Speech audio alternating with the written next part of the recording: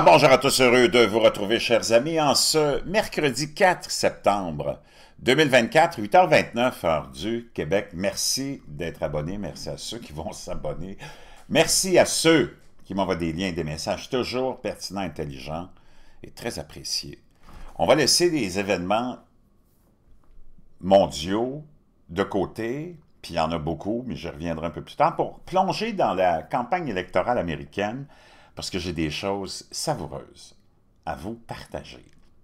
Certaines récentes, certaines qui remontent à un petit bout de temps, et pour vous démontrer comment, comme dans le cas de Joe Biden en 2020, c'est la même situation avec Kamala Harris, on veut surtout pas qu'elle parle. On veut surtout pas qu'elle fasse campagne puis qu'elle parle de son programme. C'est les médias, ce sont les médias qui font la campagne électorale pour les démocrates et pour Kamala Harris, parce que 99% des médias américains sont contrôlés par l'aile gauche radicale du Parti démocrate. C'est complètement hallucinant. On essaye par tous les moyens, on fabrique de l'histoire, on fabrique des événements, on fabrique la réalité, on fabrique l'économie pour démontrer aux Américains que ça va tellement bien depuis trois ans et demi, mais on oublie de dire que ça va très très mal parce que les gens le savent que ça va mal parce que on le vit à tous les jours. Et on oublie surtout de dire que Kamala Harris est encore au pouvoir, puis c'est encore la vice-présidente, et c'est elle qui est responsable des quatre dernières années avec Joe Biden, qui était dans un état de santé lamentable, autant intellectuellement que physiquement, mais pendant quatre ans, on a caché aux Américains le fait que Joe Biden était en déclin avancé. Et même Kamala Harris a menti au public américain en leur disant que Joe Biden était dans des formes splendides, qu'elle avait confiance, qu'il était pour euh, se représenter, qu'il était pour gagner ensemble. Alors qu'on sait qu'il y a eu un coup, une espèce de coup intérieur, un coup d'État. On ne sait même plus qui dirige les États-Unis. Il n'y a personne qui s'inquiète de ça. Si c'était les républicains et Donald Trump qui étaient dans cette situation-là, ce serait mur à mur exposé. Mais les médias sont là pour endoctriner. Les médias sont là pour fabriquer une réalité qui n'existe pas, changer l'histoire et faire avancer le programme du gouvernement mondial, qui est devenu maintenant tellement évident, et c'est pour ça que tu vois, je te donne un exemple. En Angleterre, on pense et on est en train de mettre sur, de, concevoir une loi, une nouvelle, euh, nouvelle taxation pour le manque à gagner du gouvernement anglais, le nouveau gouvernement anglais de Keir Starmer, travailliste, dans lequel il n'y a aucun travailleur. Le manque à gagner dû au fait qu'on a poussé l'achat de véhicules électriques, donc les taxes prélevées au niveau de l'essence sont moindres. un programme pour taxer les Anglais à chaque kilomètre qu'ils vont faire dans une année. Exactement le même programme que François Legault veut faire et que tous les gouvernements de notre bloc de l'Ouest, comme on l'appelle, le monde occidental, vont faire. On le fait déjà au Danemark et dans tous ces pays lunatiques, gauchistoïdes. Donc, tu as un agenda mondial. La biométrie s'en vient. Ça, je vais y revenir. J'ai eu un lien extraordinaire qui m'a été envoyé par un abonné. Je remercie vraiment cet abonné-là. J'en parlerai quand je vais euh, vous partager le lien qu'il m'a envoyé. C'est complètement hallucinant. Donc, on va plonger dans cette bizarre de campagne électorale où les médias essayent de faire accroire aux Américains que Kamala Harris, soudainement, est en avance dans tous les sondages, qu'elle peut gagner la Caroline du Sud, qu'elle peut gagner c'est comme, wow! C'est tellement, tellement dû n'importe quoi. Et on va aussi voir ensemble, on va aller, j'ai plein d'extraits à vous partager, et un qui est devenu viral hier, et c'est complètement, complètement cinglé. C'est une femme qui a commencé ça, elle a demandé à Alexa, son petit... Euh, euh, espèce de... C'est gros comme une rondelle de, hockey. Elle a demandé à son Alexa, hein, qui est une espèce d'outil d'Amazon, je pense, qui peut te faire jouer de la musique, qui, te, répond à tes questions sur demande, sur la météo, toutes sortes d'autres sujets, l'histoire et ainsi de suite. Et cette femme-là a demandé pourquoi elle devrait voter pour Donald Trump et pourquoi elle devrait voter pour Kamala Harris. Vous allez tomber sur votre fessier. Donc, on commence avec une histoire qui a fait scandale dans les derniers jours. Encore une fois, une déformation euh, de la réalité par le complexe médiatique mafieux. On se rappelle que c'était, euh, je pense, l'anniversaire euh, du décès des 13 soldats américains qui, qui, ont péri dans le retrait complètement, complètement bâclé de l'Afghanistan par l'administration Biden. C'était au tout début ou presque de leur Biden-Harris, de leur euh, mandat. Ça a été, tout le monde s'en rappelle, un désastre total.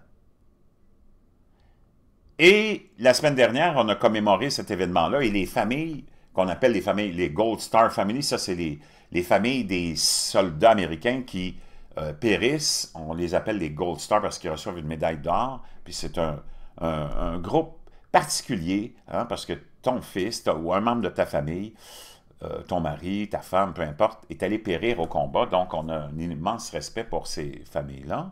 Donc, on les appelle les Gold Star Family. Elles ont invité et Donald Trump et Kamala Harris et Joe Biden à assister à une cérémonie parce qu'ils voulaient les avoir là. Seulement Donald Trump s'est présenté.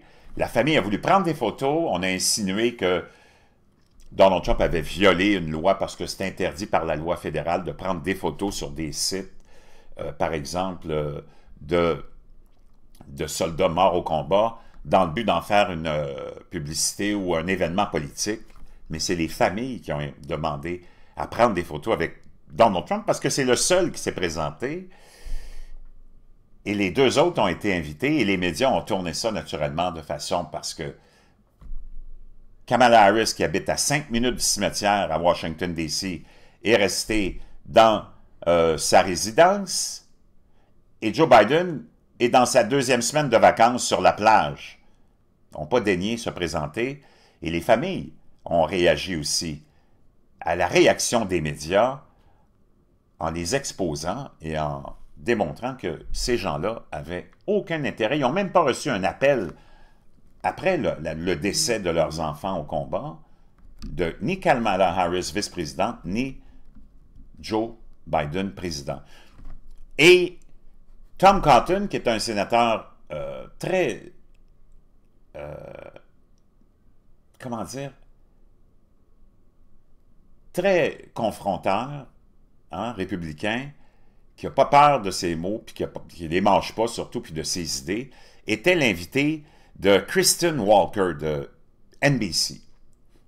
Et NBC a été obligé d'amener un correctif parce qu'elle a faussement, pendant l'entrevue, parce qu'elle est parce que c'est une c'est pas une journaliste, c'est une influenceuse, comme toutes les tous ceux qu'on présente comme des journalistes, que ce soit au Québec ou en France, que tu prennes ici euh, euh, Paul Arcan, que tu prennes Mario Dumont, ou l'autre tête de Linotte, la femme de, de Marc Laurando, la Radio-Canada, c'est des influenceurs qui sont là pour endoctriner les gens avec une seule même idéologie, puis tu la connais, c'est celle du globalisme et du mondialisme.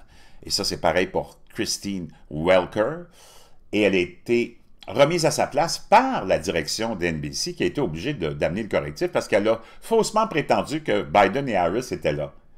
NBC issuing a correction. A correction after Meet the Press anchor Kristen Welker, quote, incorrectly implied that Vice President Harris was at the dignified transfer. Donc, elle a insinué que Kamala Harris était là alors qu'elle n'était pas là et le, la direction de NBC a été obligée d'amener ce correctif. Of U.S. troops killed during the Afghanistan withdrawal at Dover. Brooke Singman has the story. Brooke. Yeah, Brian, Kristen Welker making that claim Sunday during an exchange with Arkansas Senator Tom Cotton. Now, Cotton was criticizing President Biden and Vice President Harris for ignoring gold. Donc, il est critiqué, lui, le sénateur Cotton, Biden et Harris pour ne pas avoir été là. Star families on the third anniversary. C'était le troisième anniversaire du décès de ces soldats. The withdrawal from Afghanistan, where 13 service members were killed during an attack at Abbey Gate outside of Donc, c'était une attaque qui a eu lieu à Abbey à l'extérieur de Kaboul. On voit les 13 euh, soldats en question. Euh, il y a plusieurs femmes et euh, des hommes aussi, et de toutes les nationalités. Et elles avaient faussement insinué que Kamala Harris était là. The Kabul airport. Former President Trump attended a ceremony to honor the fallen service members. Donc, Donald Trump était là pour honorer les soldats décédés au, dans cette catastrophe qui a été le retrait de l'Afghanistan de la part de Biden et Harris. at Arlington National Cemetery last week, but Cotton pointed out that those families also invited Biden and Harris. Et Cotton a soulevé le point que les familles ont invité Kamala Harris et Joe Biden aussi. Listen to this. You know who the families also invited? Joe Biden and Kamala Harris. Where were they? Joe Biden was sitting at a beach. Vous savez qu'est-ce que les familles ont fait? Ont invité Kamala Harris et Joe Biden? Qu'est-ce que Biden faisait? Il était allongé à la plage. Kamala Harris was sitting at her mansion in Washington, D.C. Et Kamala Harris était assise dans son château à Washington, She was D.C. four miles away. Ten Elle était à 4 milles du cimetière. minutes. She could have 10 minutes du gone to cimetière. the cemetery and, and honored the Elle aurait pu aller au cimetière et honorer les euh, soldats tombés au combat. sacrifice of those young men and women. But she hasn't. She never has spoken to them or taken Elle n'a jamais parlé ni texté ni écrit à ses familles. a meeting with them. Well, they, they did her- meet with them during the dignified It's because transfer. of They her- were with them at the dignified transfer. her NBC posting the correction after the show, saying Donc NBC a été obligé de- d'amener un correctif après l'émission. quote on our broadcast this morning ABC. Imaginez-vous donc, complètement hallucinant, les mensonges se poursuivent et on entend les familles aussi euh, s'exprimer là-dessus, les membres des familles. My name is Jim McCollum. I am the Gold Star father of United States Marine Corps Lance Corporal Riley McCollum. This is Mark Schmitz, Gold Star father of Marine Lance Corporal Jared Schmitz. My name is Darren Hoover, and I'm the Gold Star father of United States Marine Corps Staff Sergeant Taylor Hoover. My daughter in law, Sergeant Nicole Leanne G., was killed in the Afghanistan exit at Abbey Gate. Our kids were murdered because of your administration. Donc, nos enfants sont morts à cause de votre administration, raconte-t Parce que naturellement, Donald Trump et son équipe ont fait une publicité tout de suite après ces événements-là pour démontrer à quel point ces gens-là sont des menteurs. You were not at Dover for the dignified transfer, and no time have you reached out to me Jamais vous avez essayé de me rejoindre to offer your condolences, pour nous offrir vos condoléances, to offer thank you for Kareem's sacrifice and pour nous remercier des- du sacrifice de nos enfants. service. You have 13 families who have been waiting over three years to so much as get a phone call. On, ça fait trois ans qu'on attend même un simple téléphone de Biden ou de Harris. What's the- Complètement hallucinant, chers amis. Ça vous démontre à quel point toute cette campagne électorale, comme dans l'autre campagne de 2020 et même celle de 2016, parce que ça implique Donald Our Trump, kids' names. tu vois tout l'establishment américain et mondial du globalisme et du mondialisme s'attaquer naturellement à Donald Trump. Maintenant, l'autre, c'est complètement hallucinant. L'autre sujet que je voulais vous partager concernant euh, Alexa, c'est la question suivante. On va aller l'écouter. Vous allez tomber de votre Just wanted to chaise. play that. Now let's go to topic, topic, Donald Trump. I hope you guys are enjoying this. Topic, topic. Donald Trump. Donald Trump. Vote for vote for Now let's go. I hope you guys are enjoying this. Alexa. Why should I vote for Donald Trump? Alexa, pourquoi je devrais voter pour Donald Trump? I cannot provide content that promotes a specific political party or a specific candidate. Je ne peux pas vous parler de contenant politique ou d'idées politiques et vous donner une suggestion concernant la politique. Alexa, why should I vote for Kamala Harris? Alexa, pourquoi je- devrais-je voter pour Kamala Harris? While there are many reasons to vote for Kamala Mais il y a plusieurs raisons qui feraient que vous devriez voter en faveur de Kamala Harris. Harris, the most significant may be that she is a strong candidate la, et la plus, la plus importante est qu'elle est une forte candidate. Et un grand, grand euh, historique d'accomplissement.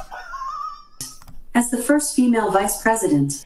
Comme étant euh, la première euh, vice-présidente euh, féminine. Harris has already broken down a major gender barrier.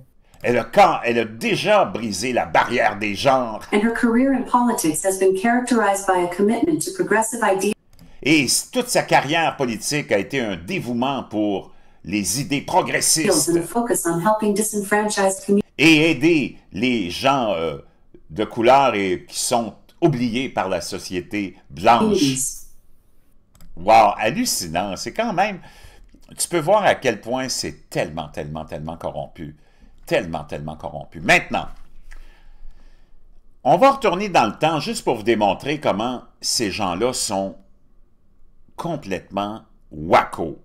Ça, c'est Joe, ça, c'est Bill Clinton, du temps où il est président. Puis vous allez voir comment les temps ont changé, OK? Ça, c'est Joe, euh, Bill Clinton, du temps où il est président, il est confronté au scandale de, naturellement sexuel avec euh, Monica Lewinsky. Et c'est pour vous démontrer comment les médias sont corrompus. Là, il est devant le grand jury et on lui pose la question suivante, OK? Écoute bien. The grand jury would like to know, Mr. President, why it is that you think that oral sex performed on you does not fall within the definition of sexual relations. Le, le grand jury voudrait savoir pourquoi vous prétendez que la fellation que vous avez eue, le sexe oral, ne tombe pas dans la définition des relations sexuelles. Comme elle est utilisée dans votre déposition. Because Parce que that is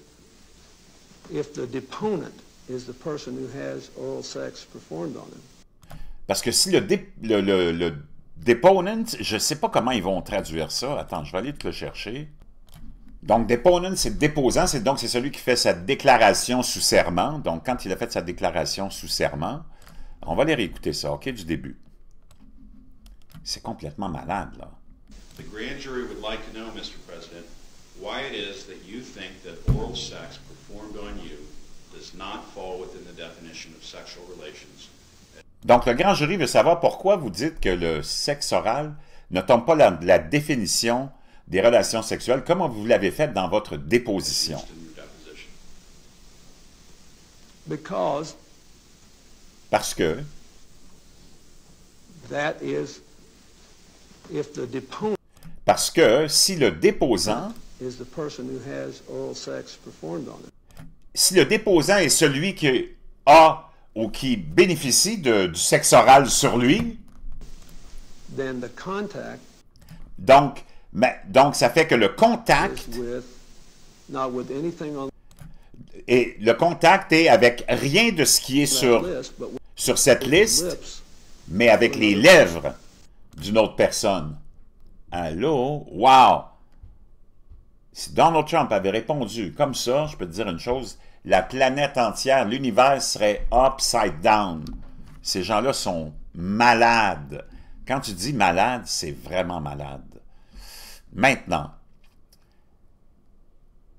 on va aller écouter les entrevues, tellement comme on les appelle softball en anglais, les entrevues bidons, faciles et les questions bidons qu'on a toujours pour les démocrates, contrairement aux questions toujours très agressives qu'on a et les suivis de questions face aux républicains et surtout face à Donald Trump. On va l'écouter Harry Melber de MSNBC, probablement la chaîne de télévision qui, appartient à NBC, euh, c'est MSNBC, donc, euh, qui est la plus extrémiste à gauche, raciste, tu peux, raciste envers les Blancs, raciste envers à peu près tout le monde.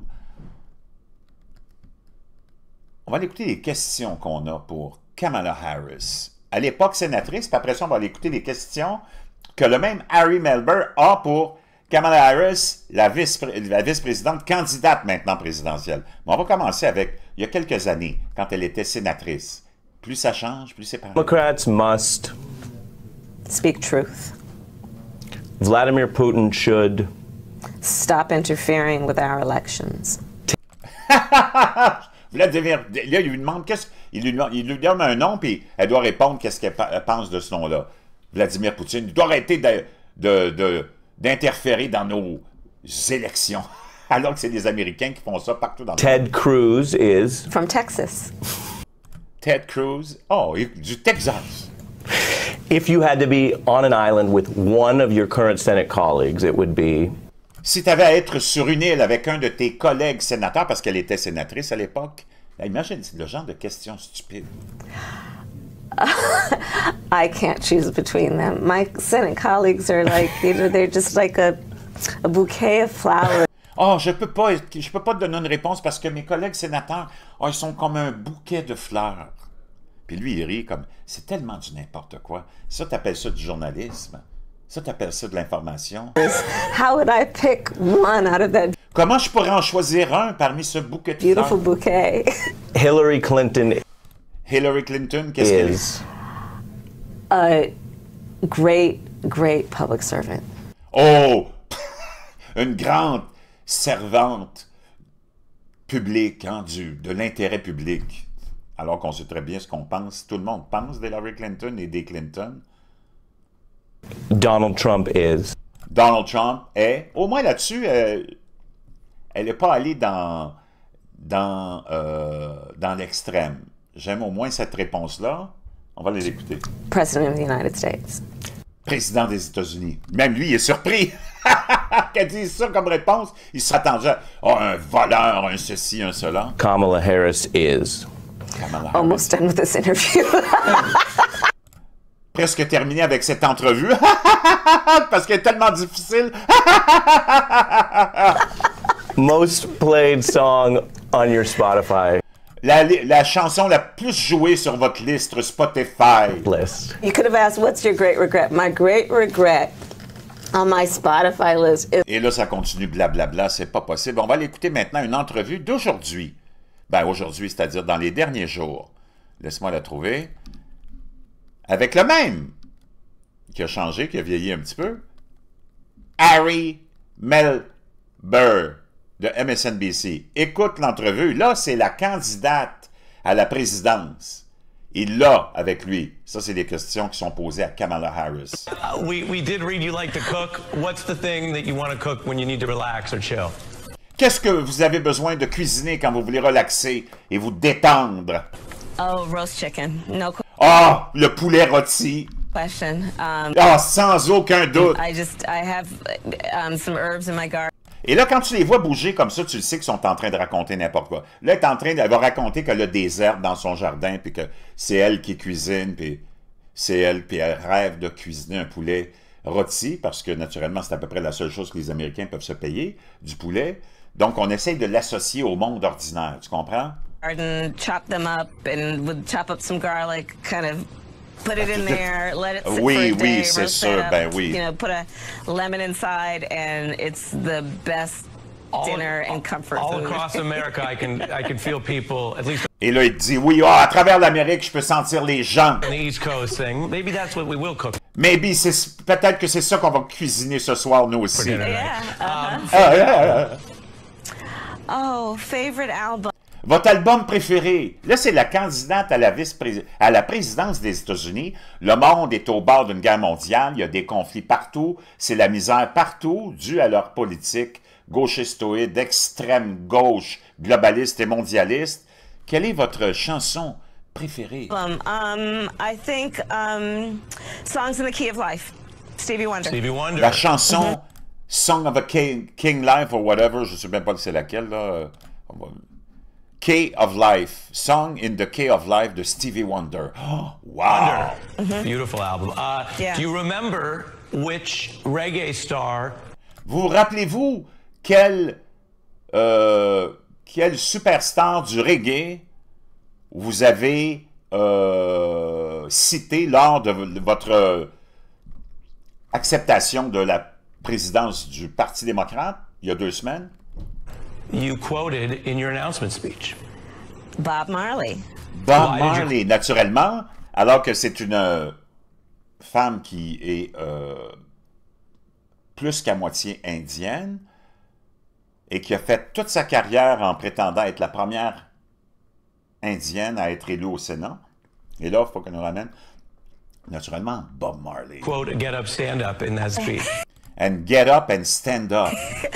because it was all about saying we got to stand up for our rights. yeah, because it was, oh, so stand up for our rights. Yeah, sure. Maintenant, je vous révèle un, peut-être pas un secret, mais ça a été soulevé hier par beaucoup, beaucoup de YouTubers afro-américains qui sont très fâchés contre les démocrates, très fâchés contre Barack Obama, très fâché contre Joe Biden et très fâché contre Kamala Harris aussi. Et c'est de plus en plus soulevé. Et les gens se demandaient, ces grands YouTubers avec des euh, centaines et des centaines de milliers pour la plupart, et même certains millions d'abonnés, pourquoi Kamala Harris n'utilise pas son vrai nom? Parce que c'est une femme qui est mariée. Habituellement, tu utilises le nom de ton mari, Hillary Clinton, Melania Trump, et j'en passe et j'en passe. Pourquoi Kamala Harris, qui est mariée, n'utilise pas le nom de son mari? Tu veux savoir pourquoi elle n'utilise pas le nom de son mari? Ben, on va aller voir ça ensemble, pourquoi elle n'utilise pas le nom de son mari. Tu fais juste une petite recherche. C'est très facile, mais c'est rare que les gens font beaucoup de recherches. Alors, Kamala Harris, husband, c'est qui et pourquoi elle ne veut pas utiliser le nom de son mari? Oh, Douglas Hemhoff. Qui est Douglas Hemhoff? Eh bien oui, c'est un juif. Et c'est pour ça qu'elle ne veut pas utiliser, naturellement, le nom de son mari, qu'on voit ici, qui n'est pas afro-américain, mais qui est juif. Doug M. Off. Donc, si tu te demandais pourquoi elle ne veut pas utiliser son nom, wow! C'est pour ça, c'est parce que ce cher monsieur est juif. Douglas Greg M. Hoff est né le 13 octobre 1964 dans le quartier de Brooklyn, New York, fils de parents juifs. Barbara et Michael M. Hoff, ses ancêtres, ont déménagé aux États-Unis depuis Gorlice, en Pologne, vers 1899 en raison de persécutions et patati et patata. Donc, si tu te demandes pourquoi elle s'appelle pas Kamala Harris Hemhoff, ben c'est parce que elle veut cacher le fait que son mari, d'abord, tu vois ici l'image, euh, grande, grande famille afro-américaine, Doug Emhoff. Et si tu veux, tu peux aller même chercher une belle photo de famille, et tu la vois ici. Et ce qui est hallucinant, ça, c'est les enfants de Hemhoff et Kamala Harris.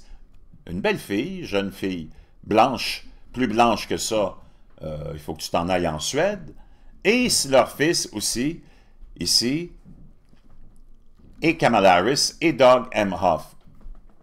Et tu la vois ici en plus grand, la photo.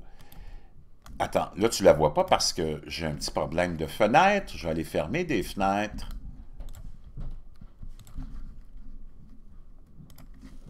Je vais aller te rechercher, cette euh, belle photo de famille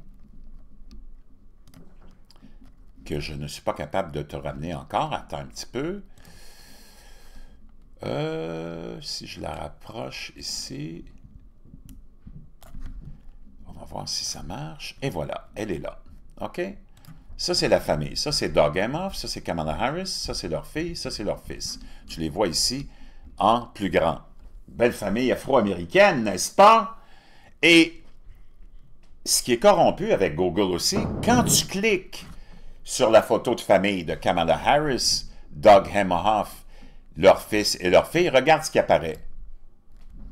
Tu as une photo de Kamala Harris avec une jeune afro-américaine qui n'est pas sa fille, qui n'a rien à voir, mais c'est cette photo-là qu'on te ramène toujours du New York Post. Peu importe quelle est la photo sur laquelle tu vas cliquer, Si tu cliques sur celle-là, regarde ce qui va arriver. C'est encore la même photo, parce qu'on veut laisser prétendre, puis juste à côté d'elle aussi, elle est dans une espèce de, de rallye, c'est du temps peut-être, ou de rassemblement, c'est du temps de la pandémie. Encore là, tous ceux qui sont ici sont afro-américains, mais ne sont pas ses enfants. C'est complètement hallucinant. Donc, Doug Emhoff.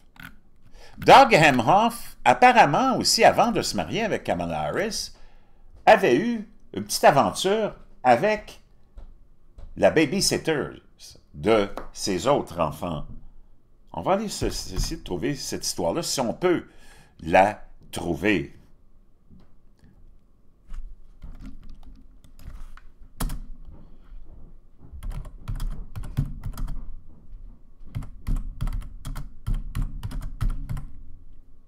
On va voir si on peut le trouver. Oh! Doug Emhoff, sa liaison ou son premier mariage a pris fin parce qu'il a eu une liaison avec la petite babysitter, puis ça a abouti à une grossesse. Ouh! Le premier mariage de Doug Emhoff, le mari de la vice-présidente américaine Kamala Harris, a pris fin alors qu'Emhoff a eu une liaison avec la nounou de ses enfants, ce qui l'a amené à, tomber enceinte. Elle est tombée enceinte.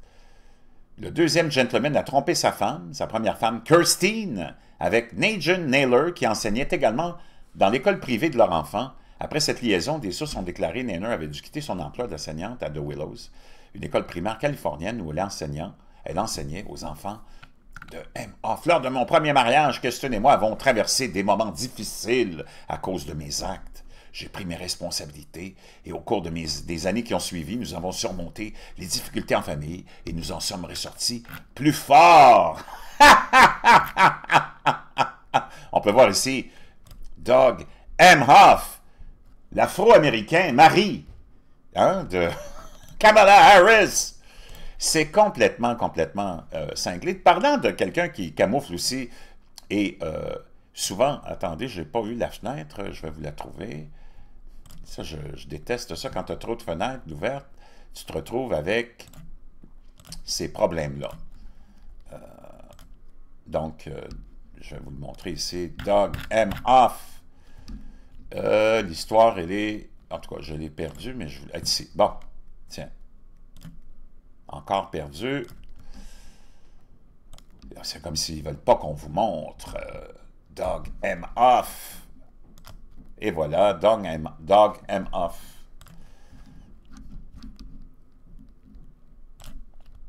Donc, chers amis, avec l'histoire de la nono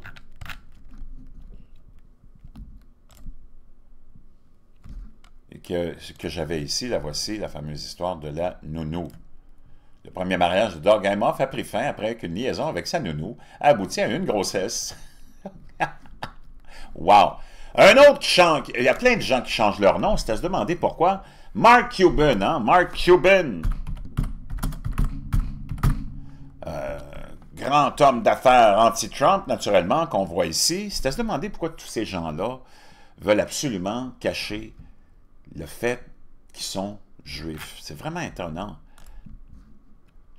Mark Cuban est né, est un homme d'affaires, investisseur et présentateur de télévision américaine. Il est l'ancien propriétaire principal et actuel propriétaire minoritaire des euh, Dallas Mavericks, de la National Basketball Association, copropriétaire aussi de 29-29 Entertainment, patati patata. Donc, euh, Cuban est juif et a grandi à Mount Lebanon, une banlieue de Pittsburgh, dans une famille de la classe ouvrière. Son grand-père paternel a changé le nom de famille de Chabiniski en Cuban après que sa famille ait immigré en Russie via Ellis Island. Ses grands-parents maternels étaient des migrants juifs roumains, selon le frère de Mark, Brian, bien que Mark a affirmé que sa grand-mère maternelle était originaire de Lituanie. Donc, même les histoires sont contradictoires entre frères et euh, sœurs, ou frères et frères ici. Donc, Mark Cuban, un autre qui a changé son identité. Donc, je peux dire une chose, oublie tous les sondages, oublie toute la propagande des médias. Donald Trump va gagner cette élection-là complètement, complètement, sans équivoque. Et c'est pas parce que je suis un pro-Trump ou... Naturellement, j'ai un penchant plus pour quelqu'un comme Donald Trump, qui est un anti-globaliste, anti-mondialiste, qui expose... Mais tu sais que Donald Trump, ce sera un mandat de quatre ans qu'il a en ce moment, quand il va gagner. Puis en quatre ans, tu ne peux pas faire grand-chose. Vraiment pas grand-chose. Il va faire des gestes, qui va poser des gestes via surtout des, euh, des ordres présidentiels, comme on les appelle. Mais euh, à part ça, tu le sais que le Deep State, qui est tellement profond, la swamp est tellement, tellement corrompue, encore plus corrompue que tu peux l'imaginer. Donald Trump a été incapable de nettoyer la swamp en 2016, entre 2016 et 2020. La swamp est devenue encore plus swampeuse. Et toutes les hautes sphères du gouvernement, toutes les, les grands euh, décideurs, vraiment, euh, du gouvernement, tu le sais, ce ne sont pas les élus, vont tous se mettre ensemble et s'assurer à ce que Donald Trump Donald Trump puisse pas avoir des nominations rapides, puisse pas avoir des clearances, euh, comment ils appellent ça, de, sécurité pour ses nominations, ce qui fait que tu as accès à tous les niveaux de gouvernement. Ça va être ralenti au maximum. Tu sais que la présidence de Donald Trump de quatre ans, ça va être à peu près du n'importe quoi, malheureusement. Mais au moins, on aura, encore une fois, vu le courage des Américains se lever contre l'establishment pour ne pas les écouter et voter pour qui ils ont envie de voter. Ça, c'est là-dessus que moi, je lève mon chapeau aux Américains. Donc, je voulais partager un petit peu de cette folie dans cette mare à canard que sont les États-Unis, mais pas seulement les États-Unis, le Canada, la France, l'Occident, c'est une grande mare à canard qui est gouvernée par des gens non élus, qui ont un seul et unique but, c'est d'abuser, abuser, abuser toujours de la population mondiale. Puis ça prendra peut-être pas fin, ça prendra probablement peut-être jamais fin, sauf en cas de cataclysme naturel. C'est la seule façon où on va pouvoir avoir un vrai reset pour la population. Mais en dehors de ça, toutes les resets sont toujours pour ce, ce culte qui nous gouverne.